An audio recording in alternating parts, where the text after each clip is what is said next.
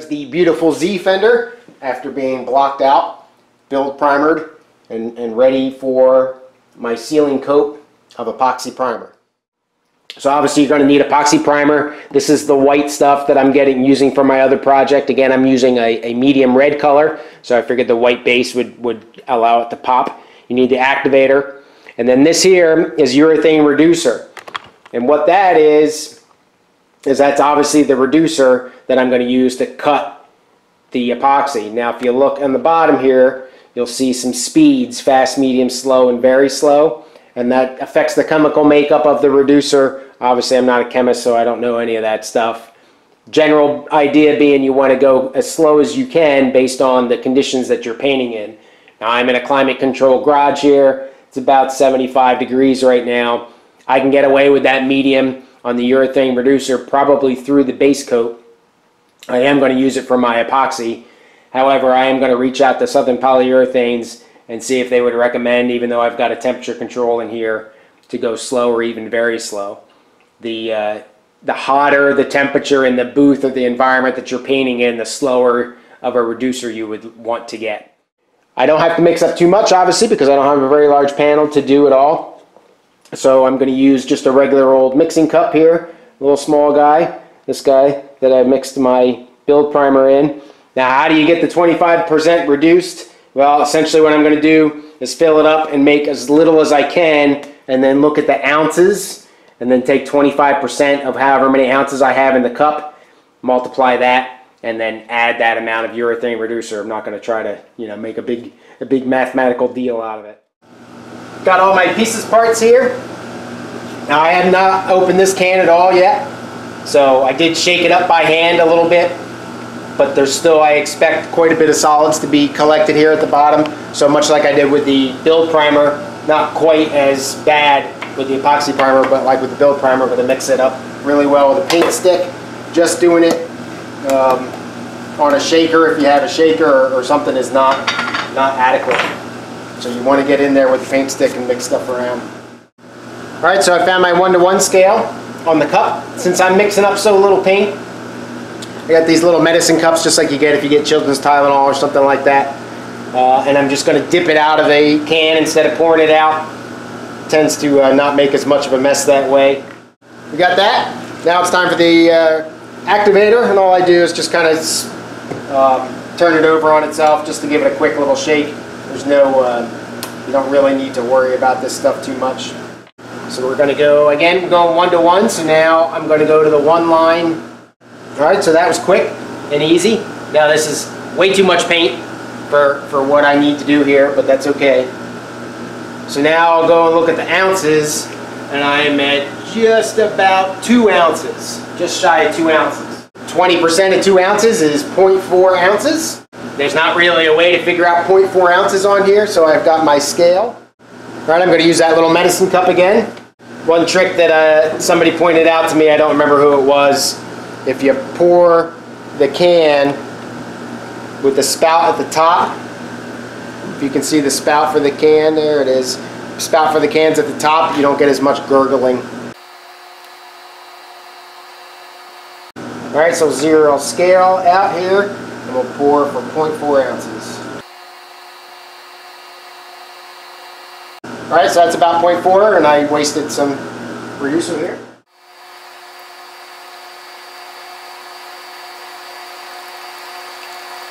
Right, that's all nice and mixed. It's still epoxy primer, so you still wait 30 minute induction time. In my last video I mentioned that you can spray the reduced epoxy and then wait a couple hours and then put your base coat on. So this is Southern Polyurethane's tech manual and at the end of this tech manual they give you give you procedures for the perfect paint job. And one of those and they take you all the way from bare metal all the way through spraying the clear coat. So what this tells you is that you let the epoxy sit for 30 minutes like I am right now inducing it, stir it, and spray it over, uh, over the entire car, and then it should sit for six hours before spraying base coat, or the other option is to let it sit overnight in wet sand with epoxy, or wet sand the epoxy 400 to 800 grit and then spray your base. So that's what I'm going to do. So I'm going to spray this full wet coat, let it sit overnight.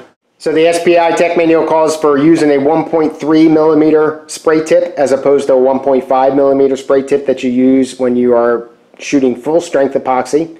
This orange thing down here is an inline desiccant filter. This particular one is made by Motor Guard. I got another one here that I picked up at Harbor Freight. And unfortunately, this is a little bit more stout of a construction. It's metal, the metal uh, at the top and the bottom there. But the problem that I had was that it wasn't passing any airflow.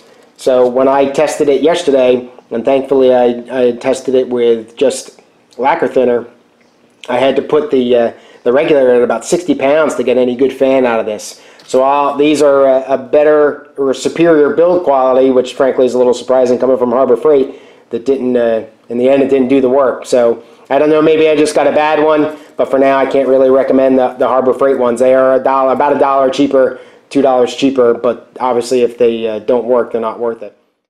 All right, ready to go here. Give it one final stir, strain it. Noticeably thinner than the uh, unreduced stuff, that's for sure.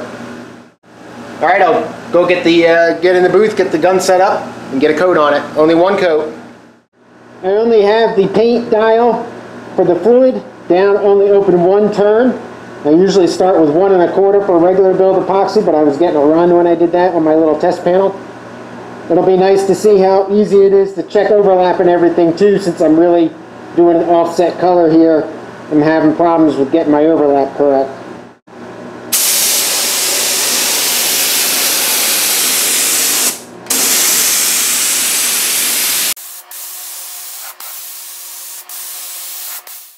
I'm sure you cringed as much as I did when I saw that. That's what you call massive cratering. So the SPI epoxy is, I wouldn't say notorious or known for, but will tend to crater, especially on its first coat. And that's indicative of me putting it on too heavy. So if you noticed, kind of hard to probably see a little bit, but even though I cut my fluid delivery down a little bit, I also slowed down right on that, that top edge. So when I came into with it on the second coat and got the overlap, that's what caused the cratering. So it's not an adhesion thing, it's just kind of how that, I don't know if it's too much solvent and the solvent kind of separates or what, uh, I'm not quite sure what actually causes that. But you can see that the rest of the panel is actually not too bad. So I'm not sure if I'm going to be able to block that out and I'm not going to, I'm not sure that I'm really going to care. Um, but this is why I'm doing this to get a feel for how this stuff is going to go down now, vice having to do it when I get to that point on my actual project. I hopefully uh, it'll block out a little bit of the ways, and then I'm just going to carry on with it and not uh, not worry. I'll, I'll uh, might be good experimentation to see what the base coat would look like with that stuff underneath of it anyway, and see how much it really messes it up to give me some uh, sensitivity to that. But tomorrow I'll come in and hit it with uh, between 400 and 800 grit wet. I'll see what I got for the sanding block and then I'll lay down some base coat. Next step for the Z fender here is to block it out. I'm going to use 600 grit wet, bucket, soft block, and uh, 600 grit sandpaper on that, letting that soak for a little bit. And then you can see, hopefully pretty well, that uh, the huge cratering and everything that I had there. This mark right there is the difference between where I went to bare metal and some filler and all those cracks, so that's not really in the area where I'm going to be painting. I'm more concerned with this in here. Happy with the way that came out. It's nice and smooth. There's, uh, I can feel some, some grit on it, but nothing that the uh, blocking won't take out. I want to try to be really careful right in here because of that seam there. I don't want to go through the bare metal there, though, like I said, I am only going to use 600 grit.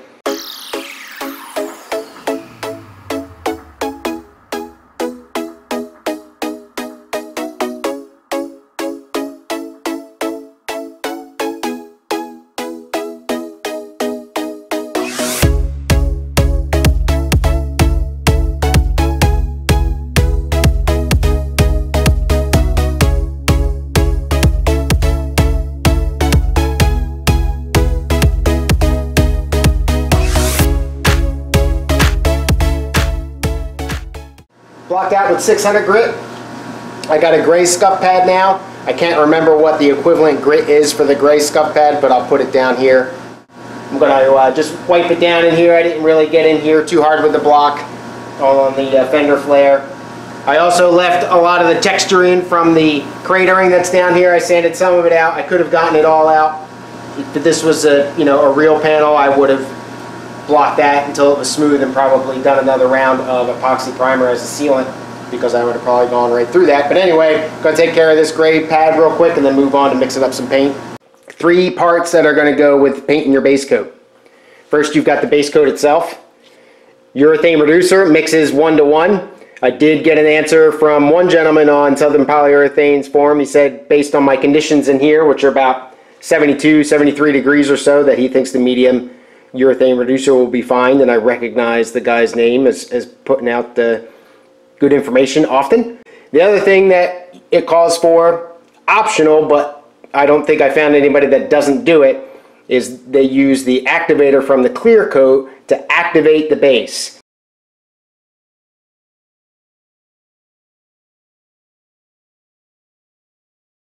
But because I'm going to be mixing up so little paint, I'm not going to use the activator when I go to paint my uh, main project for real and I'm laying down, you know, more than a couple ounces of paint like I will tonight. I am going to do that and add that stuff in. So for tonight, it's just going to be the urethane reducer and the base coat that gets mixed one to one. Three coats is my plan.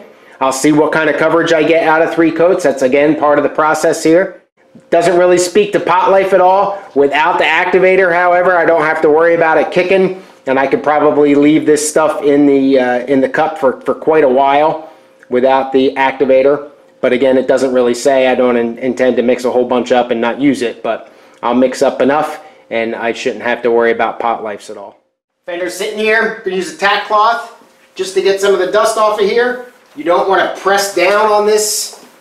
It's not, uh, you don't want to, the tack cloth is obviously sticky. You don't want the stuff that picks up the dust and the dirt to get spread onto the panel. So you don't want to press really hard because then you'll impart it into the metal and onto your surface and that's not good. So that's about uh, how much that picked up just from sitting there. Right before I get ready to spray, I'll go ahead and hit it one more time. So again, this stuff mixes up one to one between the base coat and the reducer. Give it a nice stir. All right, now again, at this point I would add the activator, the clear coat activator, but I'm not gonna do that. First time ever spraying base coat, so I'm going to head and get the paint gun set up here, get in the booth, and get the spraying. All right, a couple things that I failed to mention. 1.3 millimeter tip. I got the fluid open about one and three quarters turns. Two look just a little bit too heavy for me. I got my air pressure set on 26. And I also remembered to strain the paint before putting it into the, into the cup here. So I'm going to use the compressed air from the gun to spray down the panel with air and use the, the tack cloth to get that last little bit of dust off and then go with coat number one. 30 minutes between coats.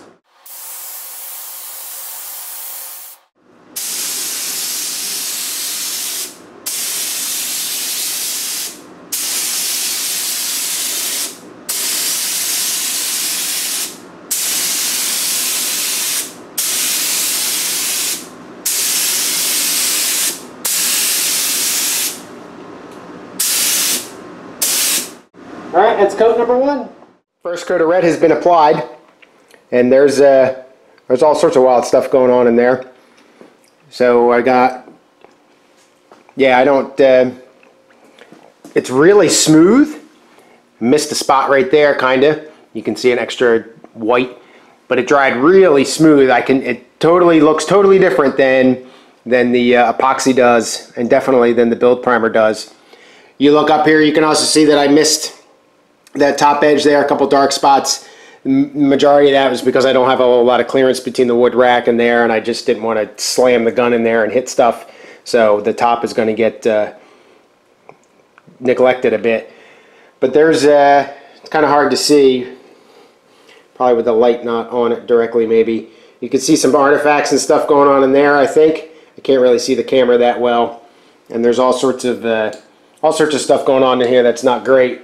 But it's down. That's one coat, pretty good coverage. Happy with that. The point of the three coats is to get the coverage underneath of it. So this, uh, as I continue to build mils here, I'm sure it'll fill in a little bit more.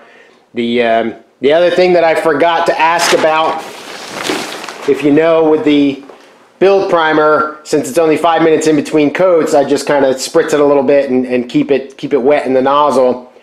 The epoxy primer, after when I'm waiting for the 30 minutes, I dump it back in the cup. This stuff, I don't think it's because it's activated. I didn't worry about that. So I'm probably still going to spritz it here in a couple minutes, actually about halfway through my 30 minute wait, just to make sure that I've got fluid movement. But I don't think I have to worry about dumping the cup in between coats. I, I, like I said, I wish I had asked that. I forgot to ask that question. The uh, tech manual is either silent to it or I couldn't find it. So hopefully I don't uh, rock up the paint inside the paint gun. That'd be really bad. But I don't think it's going to uh, to be too much of a concern.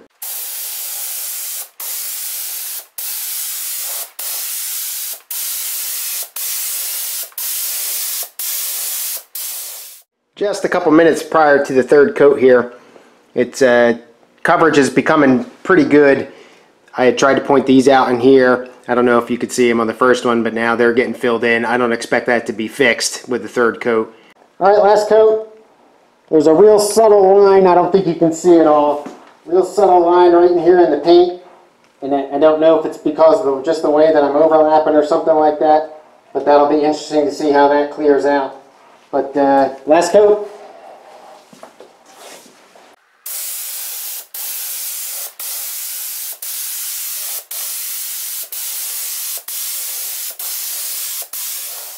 All right, third coat is on. I do have a little bit of a dry line, I think, unfortunately, right here, right down the center. So I'll have to see how that dries up. But, uh, but that's it for me for tonight. So next step will be three coats of Universal Clear, and we'll see how it looks after that.